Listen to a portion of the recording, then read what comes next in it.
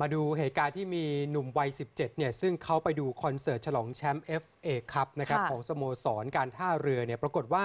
มีกลุ่มวัยรุ่น 2 กลุ่มเนี่ยเขาทะเลาะวิวาทกันแล้วถูกลูกหลง โดนยิงเสียชีวิตไปหนึ่งบาดเจ็บสาหัสอีกหนึ่งนะฮะ เป็นเหตุการณ์ที่เกิดขึ้นช่วงเที่ยงคืน 20 ที่ผ่านมา ในกลางซอยคลองเตย8เนี่ยมีกลุ่มวัยรุ่นเขาทะเลาะกันค่ะแล้วก็มีคนที่ถูกลูกหลงเสียชีวิตก็คือ นายอธิชาติศรีหัวโทนอายุ 17 ปี นักเรียนชั้นม .5 ถูกยิงที่เบ้าตานะครับแล้วก็ยังมีอีกหนึ่งคนอายุ 17 ปีเหมือนกัน โรงเรียนเดียวกัน ถูกยิงบาดเจ็บสาหัส ถูกส่งตัวไปโรงพยาบาลจุฬาลงกรณ์ใกล้กันพบปลอกกระสุนปืนขนาดจุด38 ตกอยู่ 2 ปลอก 9 มม อีก 5 ปลอก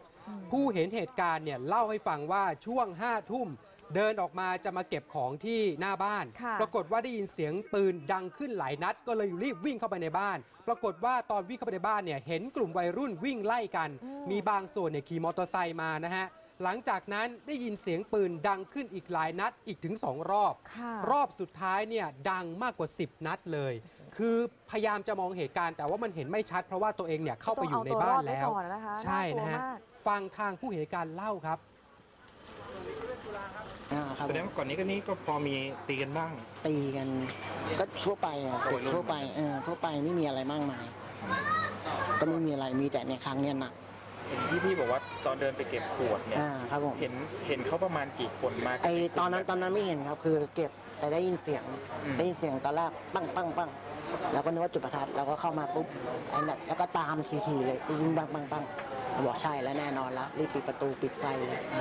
จุดที่พี่เก็บขวดคือตรงไหนครับเนี่ยถังขยะเนี่ยอ๋อข้างล่างบ้านนี่เลยอืมก็เราจะเห็นถ้าเกิดถ้าเกิดระก็ยะเราไม่ได้เราไม่ได้สังเกตเนี่ยเรามีเก็ทั้บงขี่มอเตอร์ไซค์มาแล้วก็วิ่งกันแต่รอบรอบที่สองเนี่ยจะมีวิ่งแล้วก็มอเตอร์ไซค์ขี่มา เป็นวิ่งออกไปอ่าวิ่งออกไปทางเนี้ยครับมีเห็นแค่นั้นแหละแล้วก็รอบรอบที่สามเนี่ยสุดท้ายเลยที่ว่า เป็นชุดใหญ่เลย แล้วไอ้กลุ่มกลุ่มที่วิ่งออกไปนี้เป็นเป็นเด็กในพื้นที่ของเราเราก็ไม่รู้เราไม่เห็นหน้า มันมืดๆเนี่ยเพราะเราก็ปิดไฟด้วย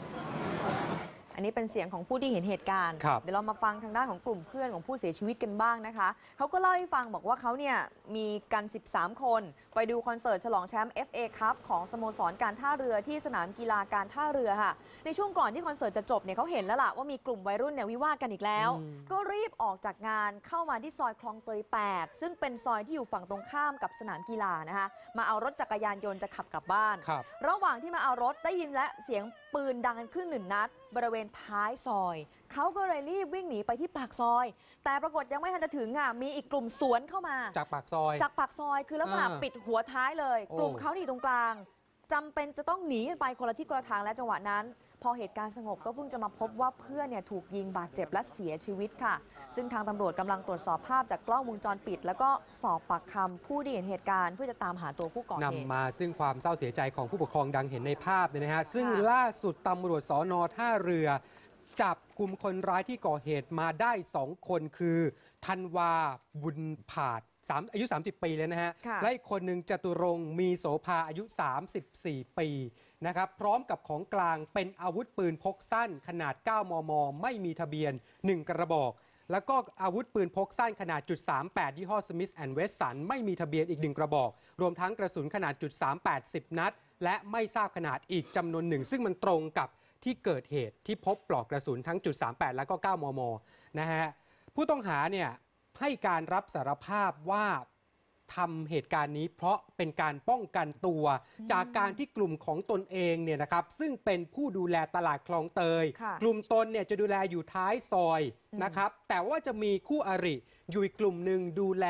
ด้านปากซอยอ๋อมีเรื่องกันเป็นประจำนะฮะ ค่ะจนมาวันเกิดเหตุที่มีการแสดงคอนเสิร์ตเนี่ยทะเลาะวิวาทกัน มีการยิงปืนใส่กัน จนกระสุนเนี่ยพลาดไปถูก